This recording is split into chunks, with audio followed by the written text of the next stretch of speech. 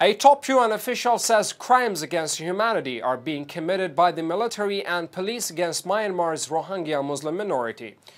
The UN Special Rapporteur for Human Rights in Myanmar, Yanghee Lee, was speaking as part of a joint media news.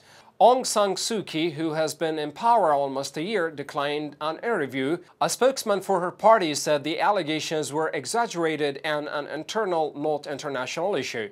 Mrs. Lee has not been given free access to conflict area in Myanmar, but after speaking to refugees in Bangladesh, she told media that the situation was far worse than she expected.